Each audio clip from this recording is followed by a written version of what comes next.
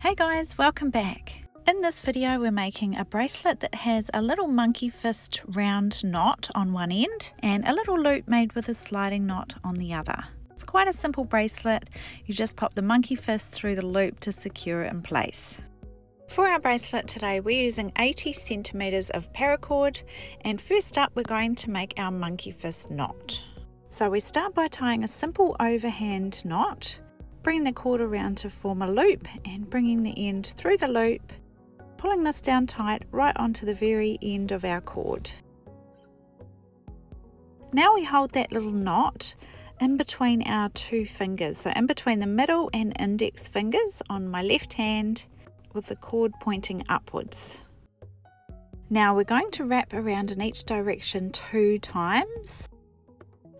So you can see I've got two layers on the top here and two on the bottom.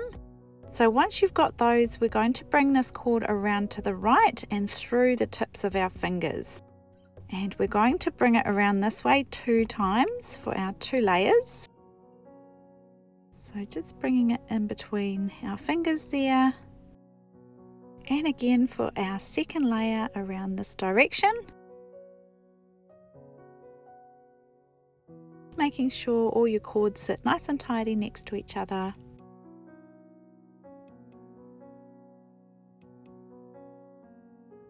Now gently holding all these loops together, we gently remove them off our fingers, holding them in their same positions and just turning the knot to the left so that we can see the loops on the top and bottom here. Now we're going to take our cord and place the end down the top loop and do our two layers going up and down. So bringing it up the bottom loop, back down the top loop,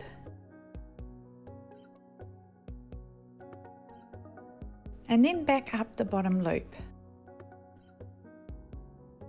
So making sure to have the two loops on each angle you should have two loops on the back here as well and only one on the front here. So just taking our end back down the top loop to make those two loops on the front as well.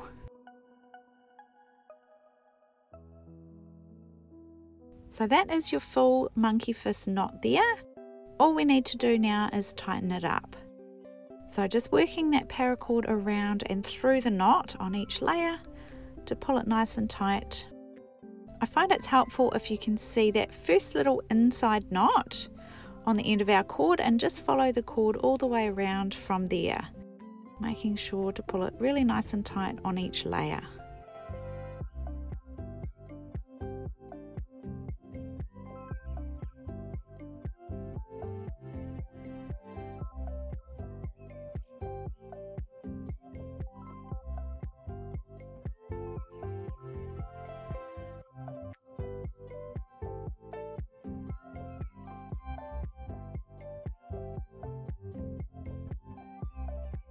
Okay, so once your little monkey fist knot is pulled nice and tight, then we can tie a little sliding knot to make a loop. So holding our bracelet and bringing the cord around to form the approximate bracelet size and holding an approximate loop size here as well.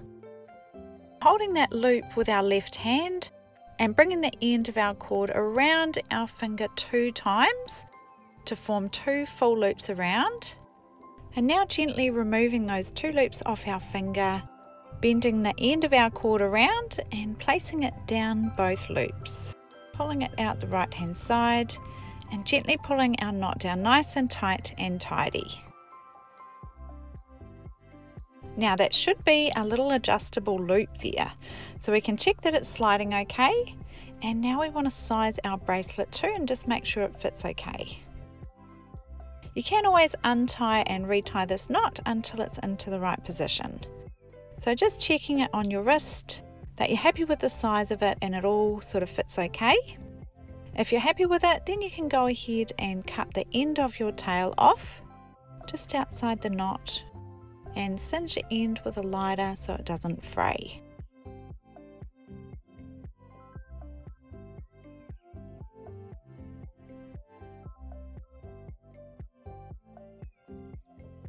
So there's your cute little monkey fist bracelet with a sliding knot loop.